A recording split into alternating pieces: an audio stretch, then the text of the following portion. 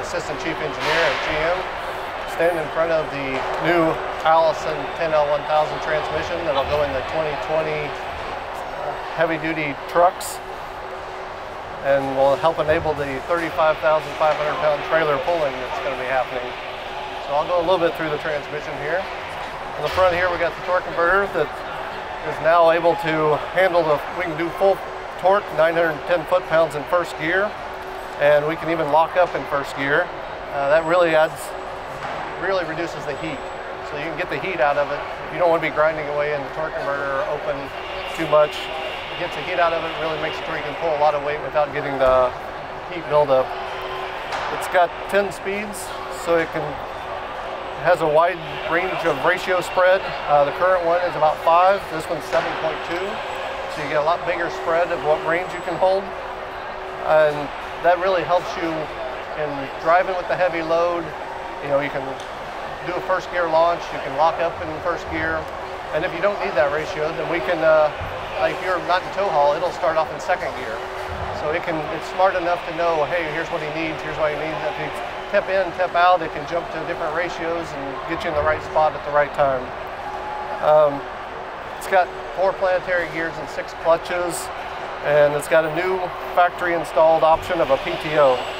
So you can get this integrated right from the factory, and it has a chain drive for quietness, and can, you can hook on your uh, standard SA mount PTO attachment, and it integrates into the vehicle better, fits into the floor pan better. It's just more of an integrated package. So this all supports the uh, new weight rating and has been in collaboration with Allison Transmission and working with their engineering and analysis and validation. So a lot of the validation's been done by them, a lot of it by us, us going back and forth with them, them coming up with us.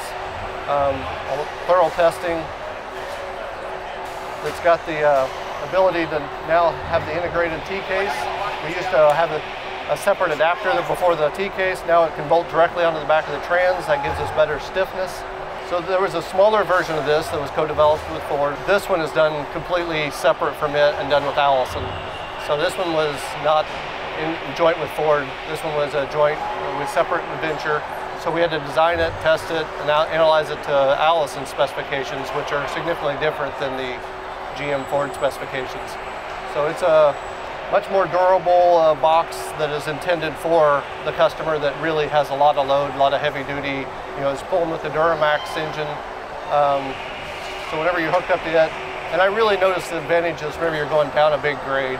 Whenever you're going down a big grade, the 10 speeds really get you in the right uh, range at the right time. Normally on the, if you don't have enough gears, you'll notice that you're kind of creeping on the car ahead of you and have to tap the brakes and then all of a sudden you downshift and you're going a little too slow, but you're not one to use the brakes. So that the 10 speeds really get you in control. So you feel more in control. Um, everything feels better. Super smooth shifting. It's, it's a nice new package.